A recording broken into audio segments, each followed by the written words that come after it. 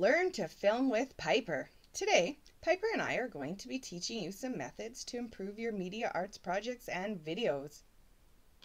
This first video shows an excellent app that keeps all videos in widescreen. This iPhone app is called Horizon. When using this app, you film widescreen regardless of how the camera is turned. This is a great app for people that are just starting out because it helps make the picture stay level when you're moving the phone around while filming. The one thing that can be an issue is that it does make the picture zoom in and out when you flip the phone angle. The last film in this series shows what happens when you are not using the Horizon app and you move your phone to a different angle. You will notice that Pyper goes sideways when I move the camera to horizontal. This is usually not what people want to happen. It is important to make sure you are focusing on the most important part of the picture. On this video, Pyper is the most important part. You can see that it starts out nicely focused on Pyper and it is clear, but then when I click elsewhere on the screen, she has far too much sun exposure. By tapping on her, I was able to focus the picture again and get rid of all of the glare. I can then bring the glare back if I touch on another section of the screen.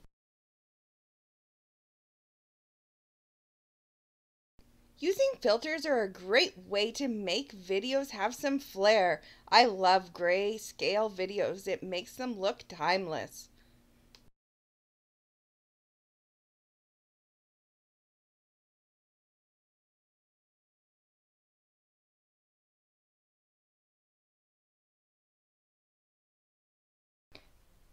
When you film in slow motion, you need to make sure that you are ready and focused on your subject right away.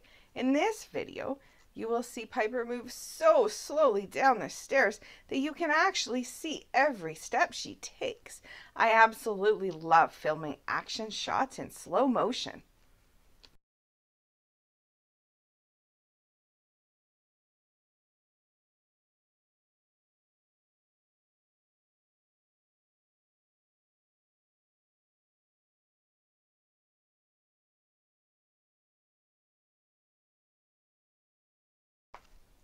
When you want to zoom in on a subject, you need to use two fingers. You place the two fingers on the screen, and if you pull them apart, you will be able to zoom right in on a section of the picture. And then if you do the opposite and bring your two fingers closer together, you're able to bring the screen back out again and zoom back out.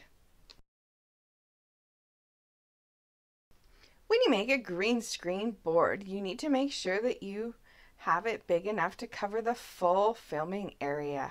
If you are doing a floor shot, then you will also need to cover the floor with green as well. In this picture, Pyper is sitting in a completely green corner.